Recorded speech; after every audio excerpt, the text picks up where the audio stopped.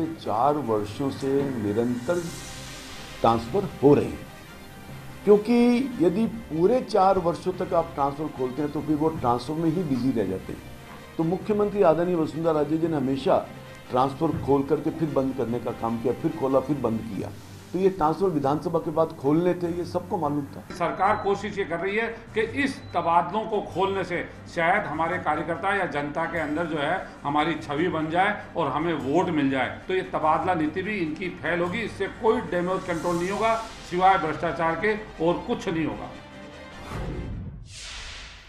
तो प्रदेश के तकरीबन हर विभाग के अंदर तबादले होने हैं लेकिन सबसे ज़्यादा तबादले चिकित्सा विभाग और शिक्षा विभाग के अंदर होने हैं।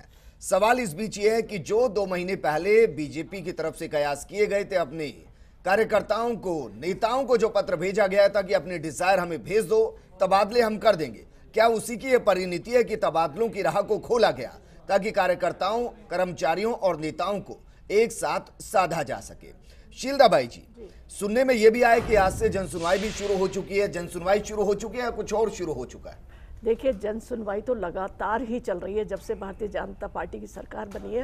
मंत्री बीजेपी ऑफ़िस में लगातार जन सुनवाई करते रहे। हाँ बीच में अभी जो चुनाव हुए थे या मोदी जी का प्रोग्राम था इसमें थोड़ा सा डिस्टर्ब हुआ। ये रेगुलर अब वापस शुरू हो गया है। तो जन सुनवाई की तो बात है तो ये तो लगातार चल रही है। और दूसरा क्वेश्चन क्या पूछ रहे थे आप? दूसरा सवाल मैम मेरा कुछ नहीं था। मेरा सवाल सिर्फ़ इतना था कि क्या इस बार कोई रेट लिस्ट भी आ रही है? बहुत मुझे सुनकर हँसी आ रही है। कौन सी रेट लिस्ट की बात कर रही है? कौन सी रेट लिस्ट की बात कर रहे हैं आप? ये ये दोनों चल रहा है कहीं नहीं चल रहा है। ये किसी और अच्छा ठीक है हो सकता है मैम आप तक जानकारी ना पहुँची हो विपिन शर्मा जी सर कोई रेट लिस्ट भी आ रही है? निश्चित रूप से अगर बात करें जैसे ही तबादला खुला है तो दलाल सक्रिय हो गए। रेटों की लिस्ट तीन से पाँच लाख और अगर चिकित्सा में बात करें तो पंद्रह से बीस लाख तक की रेटों की लिस्ट आ चुकी है। लेकिन इस बीच में एक कोट करना चाहूँगा। आज शिक्षा मंत्री ने यह ऐलान किया कि वो अप्रैल मध्य में ट्रांसफ़र चालू करेंगे। और उन्होंने एक बहुत बढ़िया बात कही कही कि अगर कहीं शिकायत आती है दलालों के माध्यम से तो उन्होंने खुद का मोबाइल नंबर दिया कि इस पर आप शिकायत करते वो काफ़ी अच्छा कदम है उनका कि उन्होंने इस पर रोक लगाने की कोशिश की है कि अगर कहीं शिकायत आती है उन्होंने कहा कि दलालों के पास आप नहीं जाए खासकर महिलाएँ उनके पास ना उलझे महिला शिक्षक है और सीधे मेरे पास है और मेरे को शिकायत करें। ये काफ़ी अच्छा कदम है पारदर्शिता की ओर। हम तो ये बात करेंगे पारदर्शिता और स्थायी नीति से तबादले किए जाए तो निश्चित रूप से ऐसे तो अगर ये सब कुछ होता तो तबादला नीति आ जाती। बिल्कुल अगर ये नियत होती। तो तबादला नीति आ जाती। निश्चित रूप से हम ये चाहते हैं कि स्थायी तबादला नीति आवे। तबादला नीति से आएगी तो ये चीज़ें करने की आवश्यकता नहीं पड़ेगी। किसी भी मंत्री को ये कहने की आवश्यकता नहीं पड़ेगी और कोई भी आरोप नहीं लगा पाएगा। तो सरकार को ये चाहिए कि स्थायी और पारदर्शिता नीति से तबादले किए जाए और प्रशासनिक सुधार की दृष्टि से तबादले खुलते रहने चाहिए जिससे जिससे सरकार की और प्रशासनिक सुधार की गति निरंतर बनी रहती है। ठीक है अर्चना शर्मा जी। क्या वाकई में आपको लगता है कि राजस्थान में एक तबादला नीति होनी चाहिए? कांग्रेस को एक लंबा अनुभव है उसने महसूस भी किया होगा कि तबादलों के ज़रिए क्या कुछ प्रदेश में होता है या पूरे देश में होता है। हर कोई जानता है। देखिए इनके मैनिफेस्टो में तबादला नीति का कमिटमेंट था और वो कमिटमेंट कैसे पूरा होता है कि सभी पार्टीज़ को बिठा करके एक आमराय की जाती है। विधानसभा सत्र होते उसमें इसके बारे में चर्चा करके। एक मिनट। कैसे नहीं है आपके? मैनिफेस्टो में नहीं है तो यानी नहीं लाओगे आप है ना? तबादला नीति नहीं लाओगे। उद्योग बना दोगे इसको। तो लेकिन दो हज़ार तेरह के में नहीं है दो हज़ार तीन के में देखिए विपिन जी सब विजेंद्र जी सबसे बड़ी बात समझिए आप। जैसे अभी विपिन जी ने कहा कि सब शिक्षा मंत्री ने कहा है कि किसी दलाली में उलझने की ज़रूरत नहीं है आप सीधा मुझे फ़ोन करिए। असंभव सी प्रक्रिया है। सबसे ज़्यादा ट्रांसफर्स की डिमांड शिक्षा विभाग में होगी। और विपिन जी भी जानते हैं मैं भी जानती हूँ हालाँकि इन चीज़ों को औपचारिक रूप पर घोषणा नहीं करनी चाहिए। खुद शिक्षा मंत्री के इर्द गिर्द संगठन के कुछ ऐसे लोग सक्रिय हैं जो जिलावार या संभागवार इस ज़िम्मेदारी को निभाने के लिए तैयार है कि वो किसी बिचौलिए की भूमिका निभाए और ये निभा भी रहे हैं बहुत अच्छे से निभा रहे हैं। तो ऐसे में ये सब जो कवायद है ये फौरी तौर पर जनता को या कह सकते हैं शिक्षकों को भ्रमित करने की कवायद है। सच्चाई ये कि पहले आशीष की एक वर्चस्व चलता था आज विवेक है चिकित्सा विभाग में तो आशीष ने शिक्षा का बट्टा बिठाया और विवेकशीलता भी विवेक इसमें चल रही है चिकित्सा विभाग में। तो हमारा ये मानना है कि मान लीजिए आपका कमिटमेंट नहीं था मैनिफेस्टो में ये मान भी लेते हैं हम। तो भी आप इतने अरसे के बाद एक बार तबादले खोलते हैं और सभी विभागों में खोलते हैं तो आपको पारदर्शिता के साथ गाइडलाइंस देनी चाहिए। उस समय जब आपकी सरकार कटघरे में खड़ी है विभिन्न विभागों के उन सर्कुलर्स के माध्यम से जो आपके जिलाध्यक्षों को विधायकों को लिखे गए ये शुद्ध रूप से पार्टीजन पॉलिटिक्स से जो कर्मचारियों का भी राजनीतिकरण करने पर उतारू है। और आप कह रहे हैं कि साहब जन सुनवाई जन सुनवाई भारतीय जनता पार्टी कार्यालय में जनता का राजनीतिकरण था। वहाँ जन सुनवाई सिर्फ़ उसकी होती थी जिलों से लेकर अपनी रिकमेंडेशन लेकर के आते थे। और आप मुझे बताइए कौन से संविदा कर्मी कौन से कर्मचारी है जो भारतीय जनता पार्टी कार्यालय पहुँचे उनकी सुनवाई हमने तो यहाँ तक देखा। छात्राएँ थी या फिर विद्यार्थी मित्र महिलाएँ थी या फिर कोई कंप्यूटर शिक्षक महिलाएँ थी वो नतमस्तक हुई दंडवत होकर के पहुँची। वहाँ पर जितने लोग पहुँचे माना जाए कांग्रेस के जो विधायक हैं या कांग्रेस के जो बड़े नेता है वो भी डिज़ायर दे देंगे। कांग्रेस के नेताओं के पास कोई आएगा तो उनको कहेंगे कि साहब इनका भी करिए लेकिन मुझे संभावना कम लगती है क्योंकि कांग्रेस के लोगों को कहाँ वरीयता मिलेगी जब इनके पास ही इतने लोगों की तादाद पहुँची हुई है। वहाँ कमीशन बंधा हुआ है कौन सी दुकान पे जाके कहाँ पर्ची रखनी है कौन सा कितना पैसा हर पोस्ट के हिसाब से विपिन जी ने बताया ना कि चिकित्सक को पंद्रह से बीस लाख शिक्षक के लिए भी कैटेगरिकली होगा की कोई डार्क जोन से आना चाहता है तो फिर उसको तो पाँच लाख रुपए देने पड़ेंगे। तो ये स्थितियाँ जिस प्रदेश में हो उस प्रदेश में तबादले जो खुला है ना एकदम से ये तो भूकंप की तरह आ गया है। ठीक है मैम जरा बताइए इस बार किस नीति के तहत तबादले हो रहे हैं? देखिए नीति आप जैसे आपने खुद ने कहा कि वरीयता के आधार पर भी हो रहे हैं। स्कूलों में परफॉर्मेंस कैसा रहा है उनका रहा है और कुछ जिनकी की बहुत ही पारिवारिक मजबूरी है या इनका बहुत दूरी है जो जा नहीं सकते उनकी बहुत आवश्यकता है। तो उस एक कैटेगरी जो जिनको बहुत आवश्यकता है उनके ट्रांसफ़र किए जाते हैं किए जा रहे हैं और जहाँ पर रिक्त स्थान है जहाँ पर बहुत समय से टीचर्स की कमी रही है वहाँ पर भी ट्रांसफ़र किए जा रहे हैं। तो कोशिश ये की जा रही है कि जैसे शैक्षिक शिक्षा की बात करूँ तो मैं शैक्षिक सत्र समाप्त होने के बाद में जैसे ही जो स्कूल की एग्ज़ाम होंगे तो उस समय सबको सेटअप कर दिया जाएगा। बीच में कोई डिस्टर्ब करने का कोई ऐसा इरादा नहीं है कि शिक्षा व्यवस्था में व्यवधान व्यवधान आए।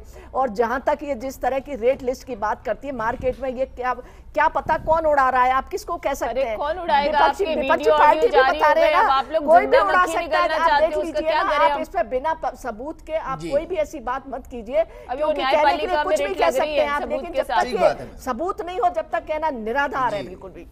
लेकिन हम तो आधार पूछ रहे हैं मैम आधार पूछ रहे हैं कि तबादला करने का आधार क्या? है तबादला नीति आप ला नहीं रही। वादा पूरा कर नहीं रहे हैं। चार सालों तक तबादले खोले नहीं। अब अचानक से तबादलों की याद आई है। नहीं वो तो हो नहीं थे। देखिए कि जिस तरह से चार साल में ट्रांसफ़र नहीं हुए तो अब तो ट्रांसफ़र अब तो हो नहीं थे। क्योंकि नाराज़गी को दूर करना था ठीक है। श्याम सुंदर जी सर एक तो विपिन जी ने जिस तरफ़ इशारा किया कि अब एक पूरे तरीके से रेट लिस्ट निकलेगी जिसके आधार पर यह सब कुछ होगा।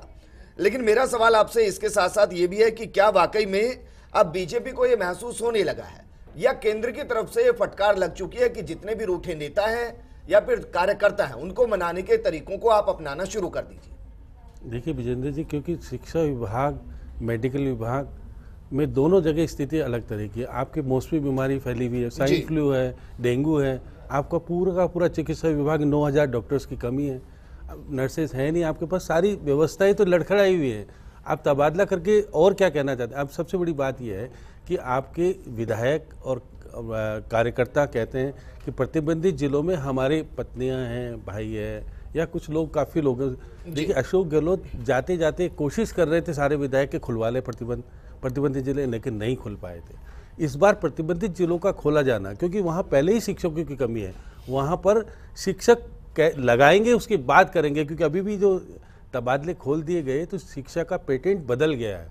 आपने जब, आप तबादले नहीं कर सकते, क्योंकि वहाँ पर अलग तरह की व्यवस्था होगी। खाली पद है तो कर सकते हो, नहीं तो नहीं कर सकते। आप है व्यवस्थाएँ। आज आप सरप्लस लगा दोगे, वो फिर बाद में सरप्लस होंगे, फिर वापस से स्क्रीनिंग होगी और उसके बाद वापस से होगा। तो शिक्षा विभाग का तबादला काफ़ी हद तक कम स्तर पे होगा जो कह रहे हैं कि बहुत ज़्यादा तबादले होंगे। अब मेडिकल विभाग में निश्चित रूप से बाईस वर्षा कभी हटाएँगे लगाएँगे ये सारी बातें लेकिन जगन्नाथ पहाड़िया के टाइम से ये डिज़ायर सिस्टम शुरू हुआ था क्योंकि उनको हटाया जा रहा था तो वो उन्होंने कहा कि विधायकों को किस प्रकार से कंट्रोल किया जाए। वो डिज़ायर सिस्टम लागू हुआ अशोक गहलोत ने भी लागू रखा और वसुंधरा जी ने भी उसको कायम रखा आज तक। अब आप देखिएगा लेकिन श्याम जी मैं आपसे जानना चाह रहा हूँ क्योंकि 2013 के सुराज संकल्प पत्र में या घोषणा पत्र में ये ज़िक्र तो नहीं था कि कोई तबादला नीति लाई जाएगी अगर मैं गलत नहीं तो। नहीं 2003 के में शायद था। 2003 में भी था और विधानसभा में इस बात की चर्चा भी हुई थी। जी। और उन्होंने साफ़ कहा था कि सेकेंडरी सेटअप में हम तबादला नीति तैयार है बन करके लागू कर देंगे। ये बात बाकायदा कहा गई थी। प्राइमरी सेक्शन के लिए उन्होंने मना कर दिया था कि हम उसमें नहीं ला सकते। लेकिन तबादला हो किस आधार पर हो? कि विधायक चाहता है तो तबादला हो। आप कोई शिक्षक का तबादला क्यों हो? किस लिए हो? क्या वो कमाई करता है अलग से, क्या करता है? एक नीति बनानी चाहिए कि आप, आपका रिज़ल्ट खराब है, आप तीन साल तक कही है या चार साल तक कही है, अब बाकी मध्य प्रदेश वगैरह में सब जगह हैं कुछ नीतियाँ बनाई भी है उनको इच्छित स्थान पर सही शिक्षकों को लगाते हैं, या डॉक्टर्स सही स्थान पर, अब आप देखिए कि जयपुर वाले डॉक्टर नहीं जाते बाहर। आप कितना ही कर लो बाहर। आपके मेडिकल कॉलेज खोल दिए, वहाँ पे खाली पद पड़े हुए यहाँ पर रहेंगे क्योंकि उनको पर डे की इनकम कितनी होगी? एक डॉक्टर साठ हज़ार रुपये कमाता है, कोई बीस हज़ार कमाता है, कोई कोई तीस हज़ार रोज़ कमाता है। तो उसके लिए बीस लाख, दस लाख देना कोई बहुत बड़ा मायने नहीं रखता, क्योंकि उसको पता है, महीने भर में वसूल। अब एक शिक्षक है, शिक्षक को लाख रुपये अब तनख्वाह मिलती है, किसी को अस्सी हज़ार मिलती है तीन महीने की तनख्वाह कितनी है ढाई से तीन चार लाख देने में उसको कोई दिक्कत नहीं होती क्योंकि उसको मालूम है कि जैसलमेर में रहेगा बाड़मेर में रहेगा। यदि बहुत दूर रहेगा तो किस स्थितियों में परिवार में किस प्रकार की बार बार आप कह रहे हैं कि डॉक्टर्स को दस लाख देने में दिक्कत नहीं टीचर को तीन लाख देने में दिक्कत नहीं लेकिन देने किसको है? देने होंगे क्योंकि विधायक अपनी लिस्ट भेजता है। डिज़ायर से तबादले नहीं होते। जी। उसमें एक लिस्ट जाती है अलग से। उसके साथ। नहीं उस अब क्योंकि लिस्ट किसकी भेजेगा? उसको मालूम है कि मेरे पाँच तबाद शिक्षा मंत्री को कह के आते हैं पाँच साम फ़र्स्ट वाले पाँच करने बाकी के तो केवल दिखावा है। डिज़ायर होने का मतलब है तबादला नहीं होना। जी। मंत्री तो मंत्री होंगे कुछ तबादले मंत्री एक मंत्री कहेगा मेरे तबादले कर दो मैं तुम्हारे कर दूँगा। तो ये बड़ा सिस्टम है मेरे तेरे सब चीज़ें चलती है आप कह रहे हैं कि ऊपर के स्तर पर मंत्रियों के लिए भी टारगेट फिक्स है। मंत्री कहता है कि मेरे मेरे तबादले, उस, आप मेरे तबादले कीजिएगा, मैं आपके करूँगा, क्योंकि विभागों में आपसी होता है। कि मैंने इतने किए आप इतने करो। बाकायदा मंत्री घर जाके बैठ जाते हैं कि भाई मेरे इतने तुम इतने करो मैं तुम्हारे कर दूँगा। आज से भाजपा कार्यालय में फिर से सुनवाई क्या? सुनवाई नहीं तबादले का अर्जी लेना शुरू कर दिया गया। आज आज प्रणामी जी भी कह रहे थे कि हम पारदर्शी हैं। पारदर्शी किस बात के?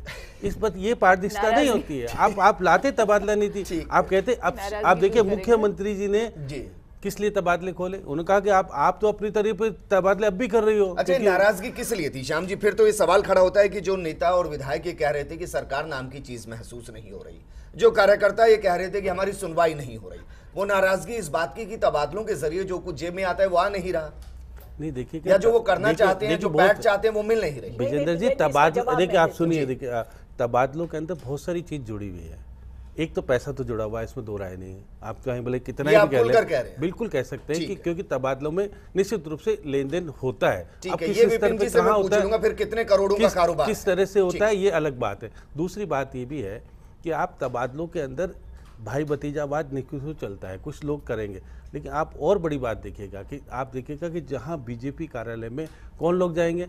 बीजेपी का जिला अध्यक्ष कहेगा बीजेपी का प्रदेश मंत्री कहेगा या वो कोई कहेगा। अब आम जनता कहाँ जाएगी? तबादला नीति के लिए एक ही नीति है रिश्वत और रिश्तेदार। अब अब आम व्यक्ति कहाँ जाएगा तबादला कराने? उनको तो कोई सुनने वाला नहीं। आम व्यक्ति मंत्री को देख भी आएगा तो पता है कि तबादला होगा नहीं क्योंकि वहाँ डिज़ायर ही नहीं उसका रास्ता मुझे लगता है शीलदा भाई जी बता देंगे कि आम आदमी कहाँ पर जाए लेकिन श्याम जी जो बता रहे हैं उसके मुताबिक जो तबादला नीति वर्तमान में राजस्थान में काम कर रही है वो सिर्फ़ एक ही नीति है। या तो रिश्वत या फिर रिश्तेदार। लेकिन क्या वाकई में चुनावी साल के अंदर इसको लागू करने के पीछे दोनों चीज़ें हैं? या फिर इनमें से कोई भी नहीं। और वजह यह है कि किसी तरीके से सरकार की छवि साफ़ हो जाए। छोटे से ब्रेक के बाद जल लौट काफ़ी समय से तो तबादला रणनीति बंद थी। अब वो चालू की है उसका कारण है कि अब अभी अब चुनाव का साल है। अब चुनाव के साल में कार्यकर्ताओं को खुश करना कर्मचारियों को दबाव में लाना अथवा कोई ऐसी चीज़ें जिससे क्या है कि टारगेट पूरे करने का काम है। चुनाव नज़दीक को देखते हुए इन्होंने इस प्रकार लालच दिया है कि इस प्रकार से इनका ट्रांसफ़र अपने विधायकों के विजय से इनका कर दिया जाए।